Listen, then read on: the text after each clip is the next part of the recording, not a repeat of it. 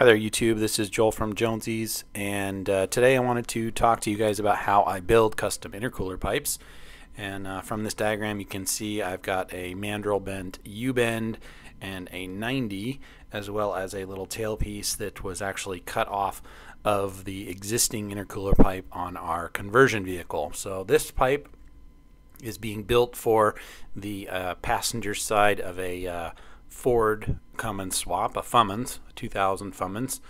And uh, I wanted to talk about uh, the easy way to construct these uh, that is very DIY friendly. Uh, a lot of people see um, the TV shows and the forums and all kinds of TIG welding and, and butt joints and aluminum. And, and at the end of the day, uh, that is uh, great and it's awesome craftsmanship, but for a DIY guy, it probably just not feasible. So uh, my method is to always use mandrel bends, as you can see here. Um, right now I've got a U-bend and I've got a 90 and then you orient the slip joints meaning you expand one piece of pipe so that it slips over the other and as long as you orient those slip joints in a fashion that is conducive with the airflow you won't have any issues at all. So as you can see in this photo, the uh, red line represents the airflow and you can see that uh, the uh, upstream pipe, meaning the 90 degree pipe or the straight pipe, slips over the downstream pipe. And uh, that makes it so that uh, the air is uh, going across and over the joint instead of dead ending right into the joint. And then if you uh, just weld up all the way around that uh, lap joint with a standard MIG welder, uh, you won't have any issues whatsoever. So uh, hopefully you enjoy the video and let me know if you have any questions.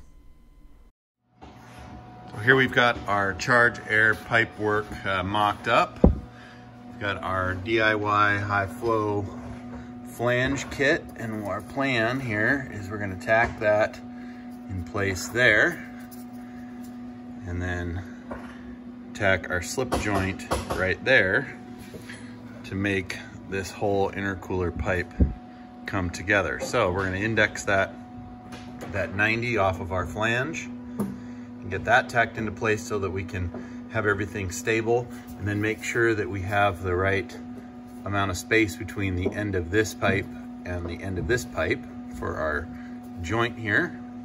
And then we'll work our way down. We got a couple tacks on our 90 and also on the slip joint. All the boots are indexed the way they should. There's a little bit of gap between the two pipes, so we can put a clamp here and a clamp there, and then this will move independently of our, of our 90. So now we're gonna take these components out and uh, jig them up in the turntable and put a nice uh, clean robot looking weld around each joint.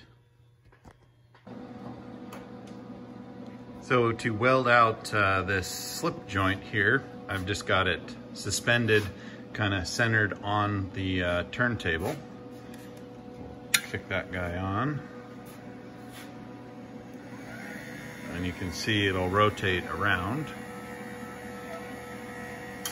And that way that weld can be a continuous, continuous weld that'll be a totally leak-proof seal and it will look really good. So let me get it all fixtured up and away we go. So now for the air intake flange. Um, I mount it up on the uh, turntable and use the MIG welder to weld our DIY uh, flange kit to that uh, mandrel bent 90. The uh, MIG welding is primarily just for um, rigidity on the pipe. After that, I uh, grind the uh, any uh, remaining three-inch pipe uh, that's sticking out, being careful not to get into the uh, sealing surface of that flange. You want to be really careful that you don't put any grind marks in that sealing surface.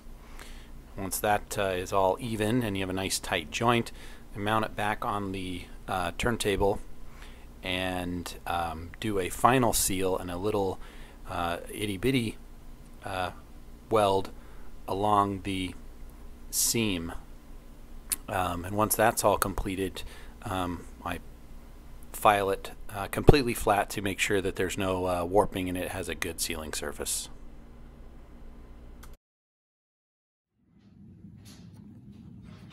The driver's side on our Fummins uh, intercooler piping was the easy side. The uh, passenger uh, starts to get a little bit of, uh, complicated. You can see the turbo down there and the original Power Stroke intercooler inlet right here. So what we did was we took the original Ford end so that we can reuse the boot because it has that strange inverted uh, bead on those boots. And then we have a mandrel 90 degree that goes out through our fender well. And then in our fender well, it will wrap around like this with a mandrel U and go straight into our turbo. It's uh, really tight around the shock, but there's tons of room in here. So once we get everything tacked together, we'll tack this slip joint and we'll tack that other one. And we'll pull the whole assembly out and uh, put it on the turntable and weld it out.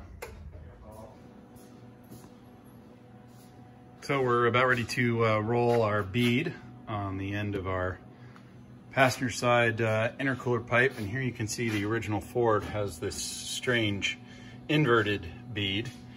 Um, and then our aftermarket boot that goes off of our turbo has a traditional bead. So we're gonna go ahead and roll this bead on here so that uh, has a nice uh, lip for the clamp to seat against.